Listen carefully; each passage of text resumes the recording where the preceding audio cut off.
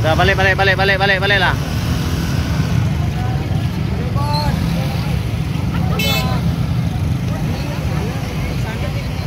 Akan lihat masyarakat-masyarakat yang ada di daerah sini. Eh, karena ini termasuk mungkin ya boleh katakan kejadian-kejadian yang tidak diperkirakan tempatnya pula pada malam Sabtu. Malam Sabtu ini biasa masyarakat ramai untuk keluar dari rumah mereka menikmati makan malam atau di karena Sabtu dari bor. Nah, di sini pula masyarakat pada kumpul untuk menyaksikan kejadian yang terjadi. Kita lihat selanjutnya.